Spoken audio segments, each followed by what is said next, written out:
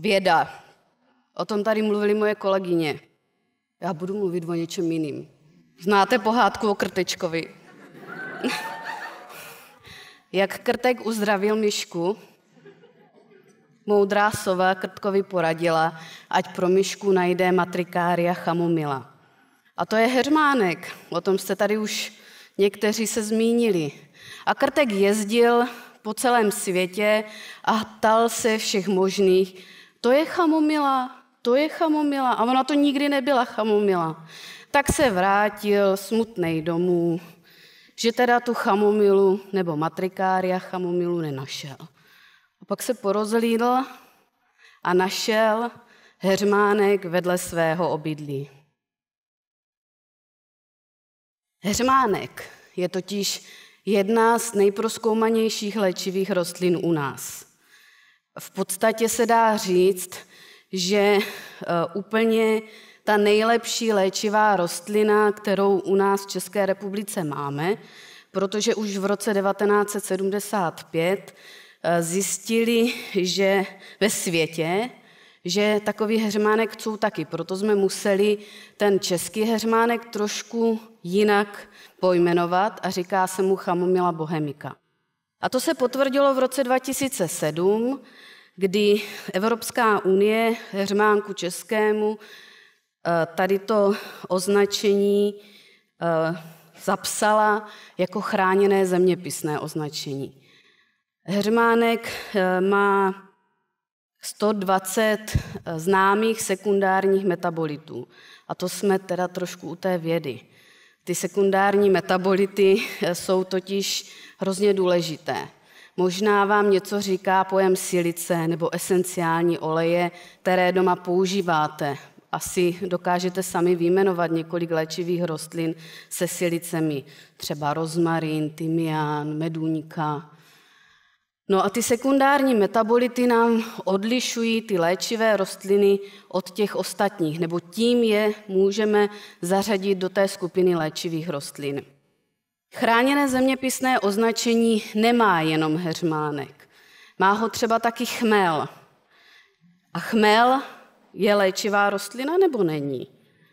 Je, jasně, do toho piva je důležitý. On v pivu je důležitý jako koření, jako konzervant a dává nám tu potřebu znova se napít toho piva, protože je hořký a tak.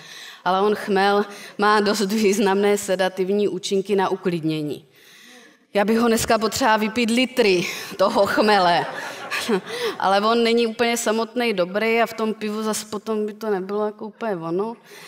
A, ale kombinaci třeba s kozlíkem nebo meduňkou nebo levandulí opravdu na ty nervy před spaním se to dá.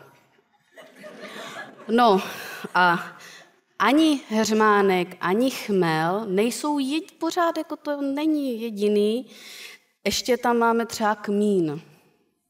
Takhle vypadá rostlina kmínu. Si řeknete, kmín, to je přece do chleba, do brambor, ale on kmín je nejpěstovanější kořeninová rostlina. Je to významné koření, které se u nás pěstuje a není jenom jako koření, je třeba dobrý na deprese, na sklidnění žaludku a tak dále. Znáte tady tu rostlinu? Viděli jste ji někdy? To taková pěkná fialová, ale bodlák to není. To je ostropestřec mariánský.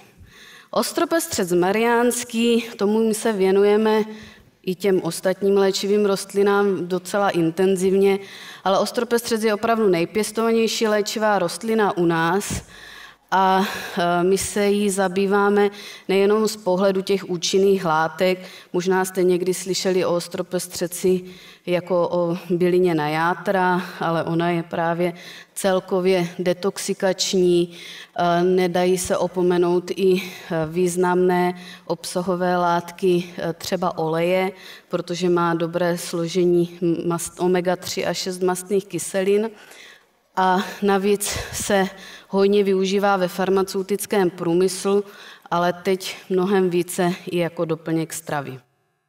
No a když už teda mluvím o farmaceutickém průmyslu a o doplňcích stravy, tak jste asi někdy byli nemocní, tak jako tady náš pan moderátor, my jsme ten covid trávili na dálku společně a, teď jste si říkali, tak co můžu, u toho covidu nemůžu.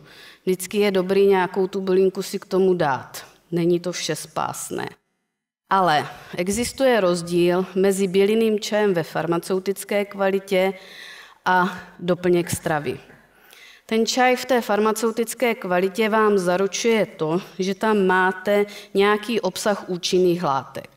A ten je dan nějakou normou. A tou normou je evropský lékopis, potažmo český lékopis. Je to, toto je jedna kniha, je rozdělená do čtyř, protože tu jednu bychom asi nepřečetli. Jsou takový bychle. Já vždycky, když to táhnu někam, tak to je taková posilovna. A já tomu říkám mezi studenty, eh, že to je takový lexikon. Je tam spousta informací, ale málo kdo jim rozumí.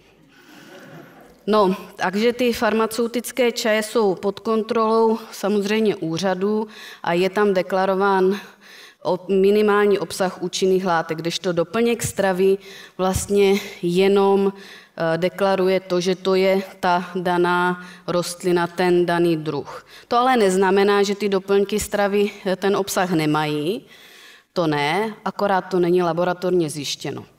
Já bych vás ráda uh, naučila, protože jsem tak trochu učitelka, že když jste nemocní, běžte si do, lé, do lékárny pro čaj ve farmaceutické kvalitě a když chcete prevenci, stačí doplněk stravy, ten někdy ale může být i vyšší kvality než je farmaceutická.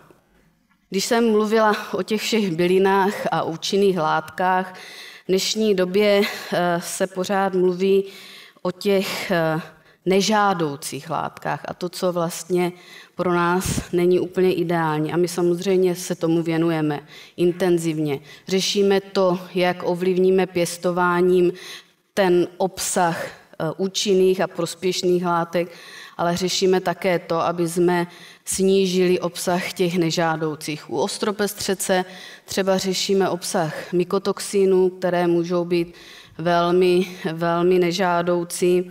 A obecně bych řekla, že nepůjdeme na věry, ale musíme si dávat pozor na plísně a na ty mykotoxiny. No, ale jak to ovlivnit? Samozřejmě tím, co nakupujeme, no ale já se dívám ještě hlouběji, protože si neodpustím, že jsem z agronomické fakulty Mendlovy univerzity a kvalitu surovin jsme schopni udělat jenom na poli. To znamená, eh, to pěstování ovlivňuje úplně vše. No a když ještě jsem mluvila o těch léčivých rostlinách, tak léčivé rostliny mají stejně daleko k medicíně jako k zemědělství. To zemědělství je eh, vlastně teďka na takové hraniční pozici.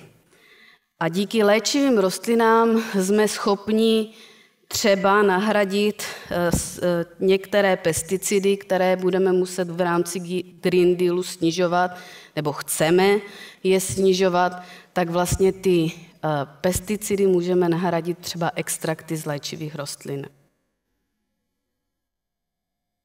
Jako ponaučení bych vám ráda řekla jednu věc. Nejsou léčivé rostliny vše spásné ale nesmíme je opomíjet.